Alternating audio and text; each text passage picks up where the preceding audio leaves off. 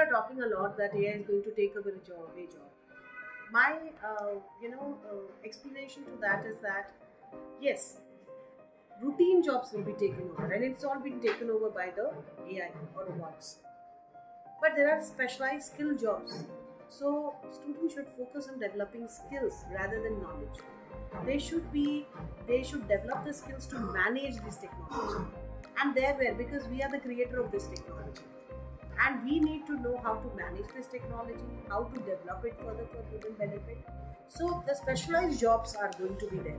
So students should not limit their learning and knowledge to the theoretical part.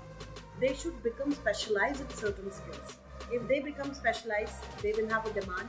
Otherwise, it will be very tough time for students to compete in the world of technology.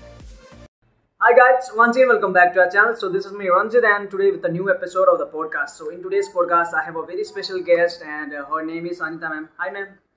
Hi, how are you? I'm good ma'am. How are you? I'm fine. So in today's podcast we're gonna talking about artificial intelligence and machine learning. We're gonna know about how how the machines have changed the human uh, human lives and how uh, uh, it can be a threat to ourselves. So uh, if you are new to the channel guys, please subscribe and hit the bell icon. So enjoy the podcast of Ranjith Bohra with Anita ma'am.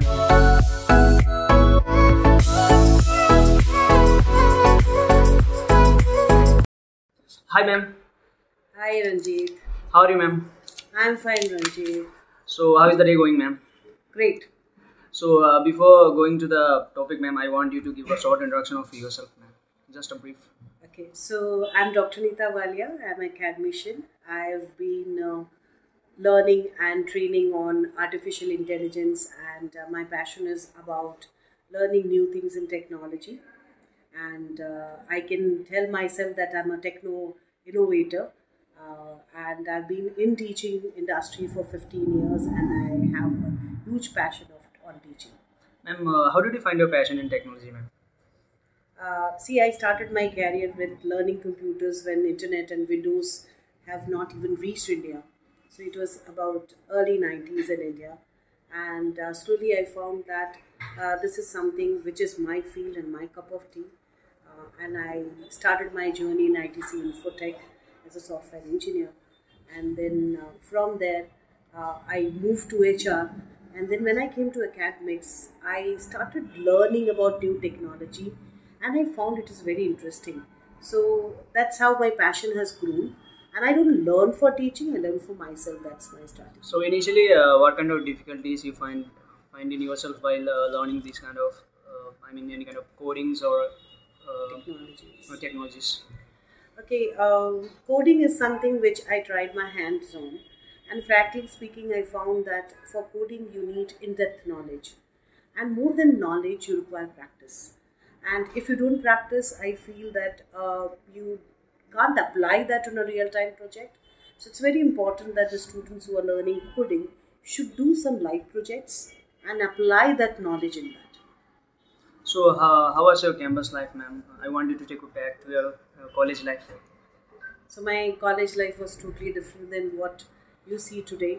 Uh, it was without technology, but then I must say that uh, this was a life which was full of uh, thought-provoking, uh, you know, thoughts in the mind of the youth. Uh, you had a lot of creativity uh, in terms of learning on your own. Uh, collaborative learning was there. We had no other source of learning rather apart from our teachers and students who were together summarizing and learning together. So it was fun. Um, so, ma'am, not uh, going to the topic, ma'am. Uh, well, what do you exactly mean by AI, ma'am? I feel AI is the uh, human built intelligence.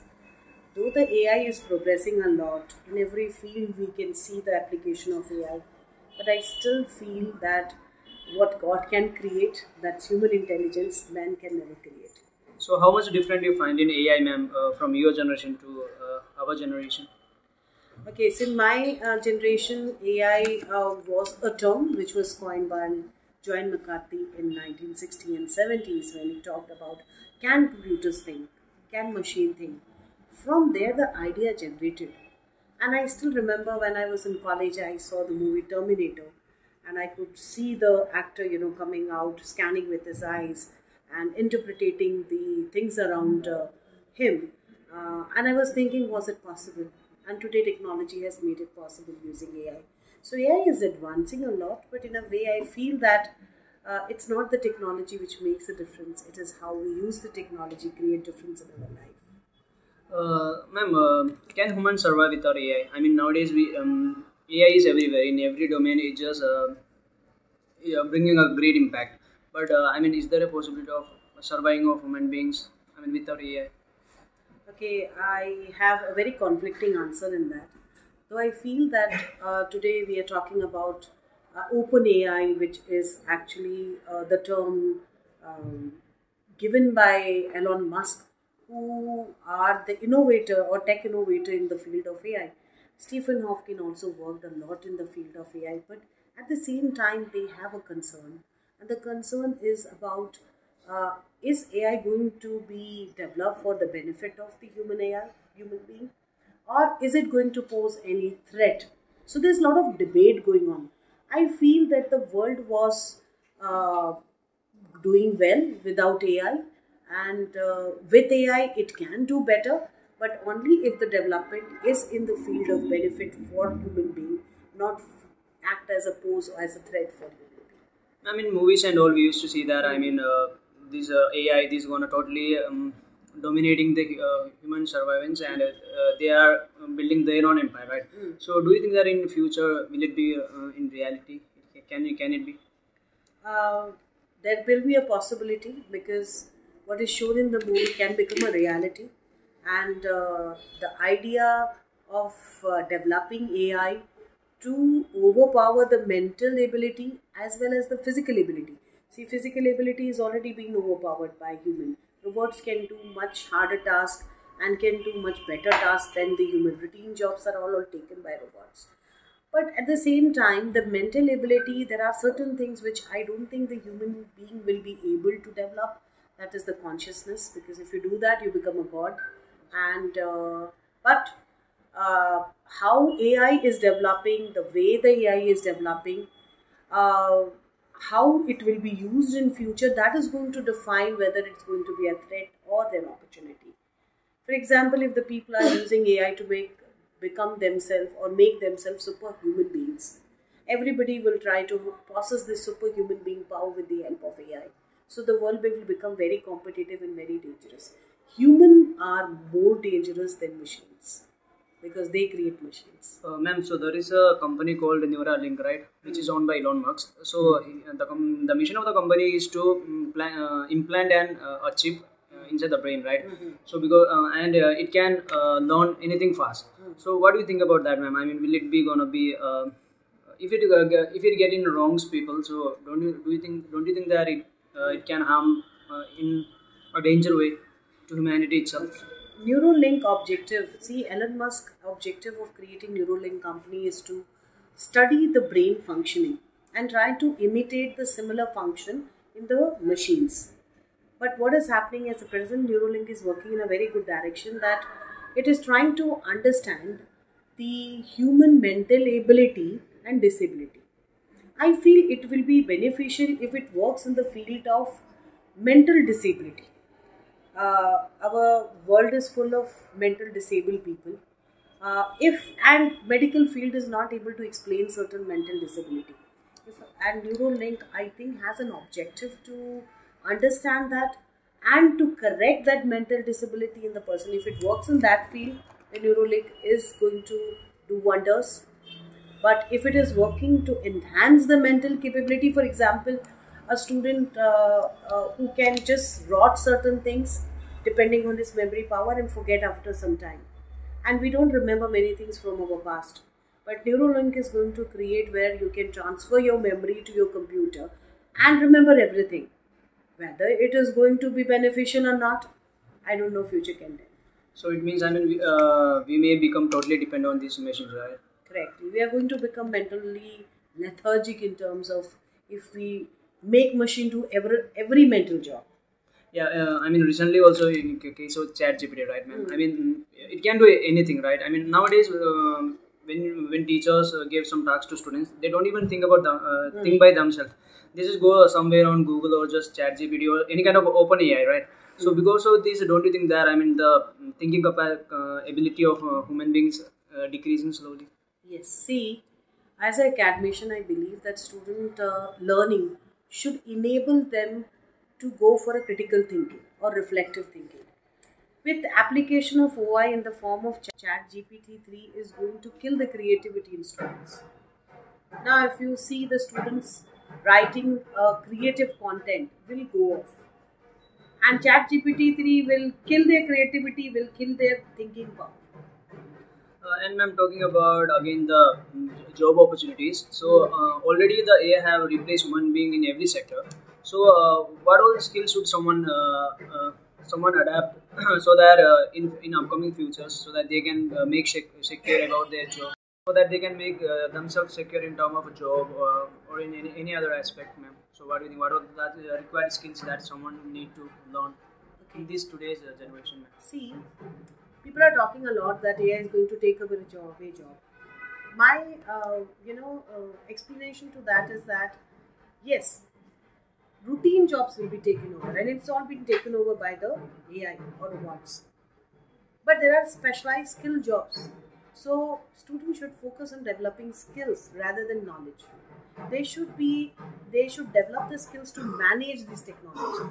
And there where because we are the creator of this technology and we need to know how to manage this technology how to develop it further for human benefit so the specialized jobs are going to be there so students should not limit their learning and knowledge to the theoretical part they should become specialized in certain skills if they become specialized they will have a demand otherwise it will be very tough time for students to compete in the world of technology So, ma'am, AI is basically, I mean, uh, we are initially we are giving some instruction. Then after that, it used to uh, learn uh, everything by uh, just looking its surrounding, right? okay Then how uh, are these uh, machine learning different from AI? Machine learning is about training the So, is there machine is there any interconnection between um, uh, machine learning and uh, this uh, Yeah. AI? Uh, machine learning is a subdomain of AI. Uh, machine learning requires to write, you know, a particular code and um, train the machine. It trained them on a formal and basic structure. What machine learning does it, you train a particular machine or a model and make that machine learn on its own using that model. So you are training a machine how to learn. So there are different kinds of learning in machine learning. We say supervised learning and unsupervised learning. Machine learning is unsupervised. For example, in supervised learning, what we do, we go to a class, we monitor students' learning, and we make them learn certain things, certain tasks. They learn and they do it in the same way. It's called supervised learning. Machine learning is unsupervised, where we teach something to the machine, and machine go beyond above a supervision and learn and write codes, the programming codes, and develop its learning further. Just like student learning in the class certain concept and going to uh, the online learning material and do self-learning. That's the machine learning concept. Uh, ma'am, I'm talking about if someone want to start their career in uh, machine learning or in um, any uh, uh, in computer area. So I mean, um should he need to be a um, science background? I mean, a computer background, or anyone can uh, come and start their journey? It's a total myth. Uh, normally, there's a myth that only engineers can uh, learn Python, R, or code, or any kind of machine learning languages. Uh, today, we have a lot of platform which is with no code AI, and uh, Google has developed those platforms. Uh, companies are not necessarily recruiting engineers for uh, you know development of AI application.